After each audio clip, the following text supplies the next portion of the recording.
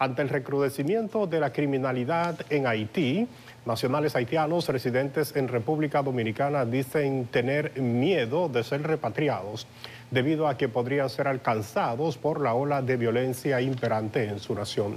Nuestra compañera Keren Lucas nos amplía. Con las bandas criminales acumulando muertos en el vecino país, los haitianos residentes en territorio dominicano se ven imposibilitados de retornar a su tierra natal.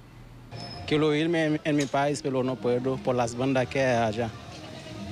Pero sí, tengo familia que se salvo víctima. Yo también, porque aquí no es bueno para vivir en este momento. ¿Sabes cómo están las cosas? Tú eso mandado ladrón, chiguele, ladrón coge su país, coge la casa y lo publicita. coge la casa y publicita. Abusador, tú eres un maldito abusador.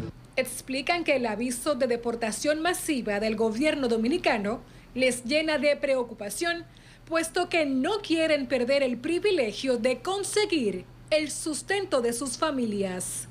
Mi país ¿sabe? viene para acá, viene a buscar la vida, pero tú sabes cómo está la situación allá, está muy difícil. A sus angustias se suma la restricción en la emisión de visas que, según expresan, los pone entre la espada y la pared. Demasiado tiempo yo tengo aquí. Eh, yo no sé qué va a hacer con los presidentes para que eh, cambie otra forma por los haitianos. Tengo aquí como, como dos años y un año sin visa. Es difícil volar ya, sí.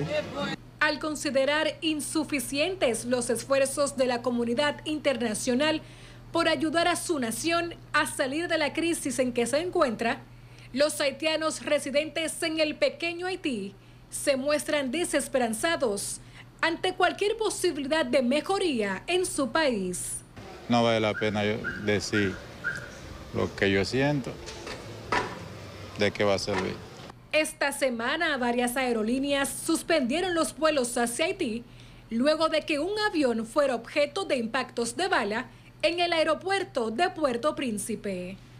Al mostrar su preocupación por la situación en Haití, la comunidad del Caribe manifestó su apoyo a las autoridades del vecino país para trabajar en conjunto de manera que alcancen el objetivo de celebrar elecciones democráticas dentro del marco acordado de noviembre de 2025.